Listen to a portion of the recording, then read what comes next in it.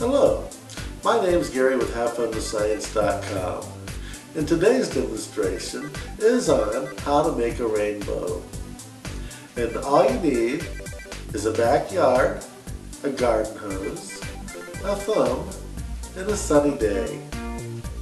Sunlight is also called white light because white light contains all the colors of the rainbow.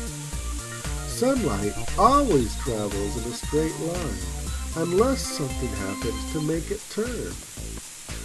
When sunlight travels to our atmosphere and comes in contact with millions of water droplets, those millions of water droplets can make the sunlight change directions. And as the white sunlight begins to bend, a rainbow is formed. And when the sun rays bend at different angles, different colors show up. So red shows up at one angle, orange shows up at another, still yellow shows up at another angle.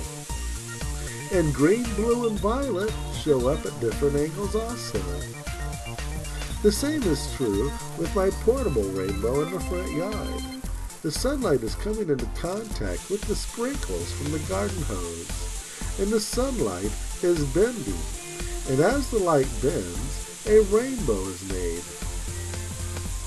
Just in case you're having trouble finding a rainbow, stand with your back against the sun and hold the garden hose in your left hand, cover the spray with your thumb, and aim toward the right.